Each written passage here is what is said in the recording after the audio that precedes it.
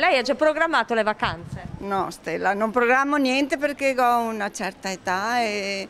No, ma se posso vado. Vado, vado con mia figlia che ha una casetta in Croazia, sì, sì. Non abbiamo niente in programma, ma abbiamo già fatto e quello che abbiamo fatto ci basta intanto. Noi facciamo sempre l'Abruzzo ed è bellissima. Noi abbiamo fatto la Riviera Adriatica, è una meraviglia tranquillo e adesso che c'è anche poca gente. Faremo qualcosa sicuramente, adesso vediamo. Non avete prenotato ancora niente? No, al momento no.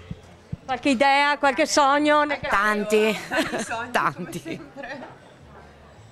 Bene, dai, comunque il periodo più o meno quando è che andrete via? Ferragosto, ovviamente. Un classicone, sì.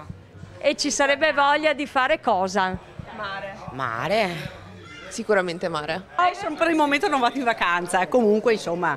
Non ha programmato nulla per quest'estate? Mm, no, andrò magari un po' in montagna ma verso settembre. Abbiamo programmato le ferie perché siamo dall'Australia e allora eh, ogni anno si veniva a, a Bassano del Grappa, però per tre anni, come lo sai, il Covid ha rovinato tutto e adesso siamo qui ancora.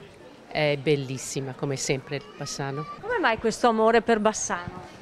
Eh, perché è bella, c'è una bella, come dice, gente bella, mangiare, eh, bere, tutto cosa. No, non ho programmato, penso che non andrò da nessuna parte. C'è voglia di vacanza? Beh, ovvio, sì, sempre.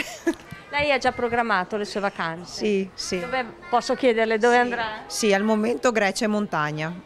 Ok. Insomma, un bel programma. Sì, sì, sì. Sì. Si muoverà con la famiglia, immagino. Sì, Avete sì. già prenotato? Sì, già fatto tutto perché l'anno scorso eravamo non alle strette, ma nel senso c'era tanta voglia di muoversi anche l'anno scorso e quindi onde evitare magari code, ombrelloni, prenotazioni eccetera, quest'anno mi sono tutelata e ho già fatto tutto con largo anticipo.